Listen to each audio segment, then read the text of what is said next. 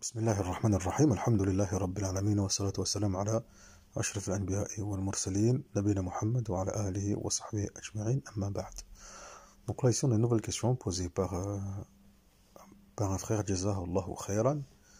Euh, La question est Qu'est-ce que le siwak Quelle est la définition du siwak aussi bien dans son sens linguistique que chez les fuqaha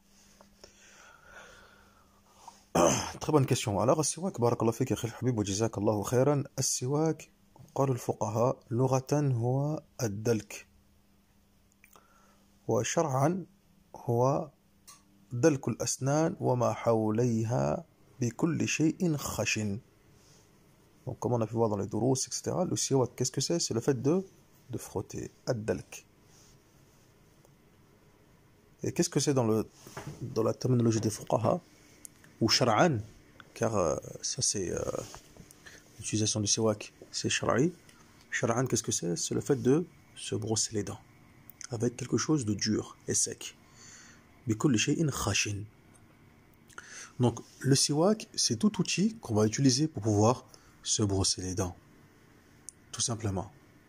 Et cela est légiféré et cela est une sunna Comme disent les fuqaha, notamment كما قال القاضي أبو شجاع رحمه الله تعالى في في مختصره dans son متن يجي ويستحب ويستحب السواك في كل حال ويستحب السواك في كل حال وهو في ثلاثة مواضع أشد أشد استحبابا donc et c'est une sunna d'utiliser les préférables d'utiliser le siwak dans toutes les situations et dans trois situations cela est encore cela est plus fortement recommandé lorsque tu t'apprêtes à faire la salat lorsque euh, ton haleine a été, euh, euh, a été altérée, tu commences à avoir une mauvaise haleine, et lorsque tu te réveilles, tu as été endormi, tu as dormi, tu t'es réveillé, à ton réveil.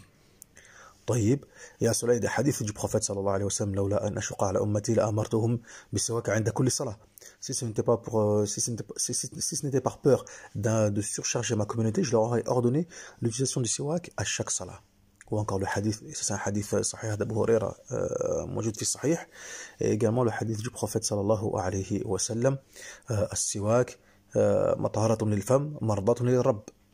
Le siwak est une purification pour la bouche et un agrément, une satisfaction euh, du Seigneur.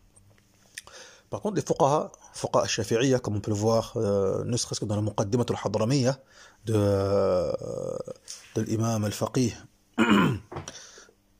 Abdullah ibn Abdurrahman Bafadl al-Hadrami, rahimahullah ta'ala, il mentionne clairement les fuqaha que c'est toute chose qui est khashin. Toute chose qui est khashin. Et ils excluent, excepté le doigt, sauf, كما قال كما قال شيخنا أحمد بن علي المقرمي حفظه الله تعالى إلا الأصبع إذا كان خشنا si vraiment son doigt il est sec et ferme, etc., il peut faire le siwak avec son doigt.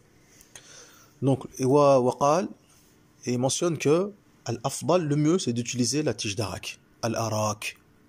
Et généralement, c'est de là qu'on prend le siwak.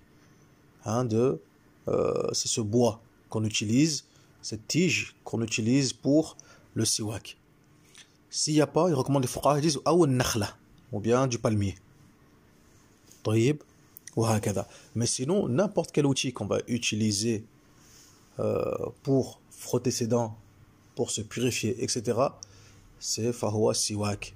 C'est un siwak. طيب ولكن الأولى c'est الأراك. هذا هو والله أعلم والحمد لله رب العالمين.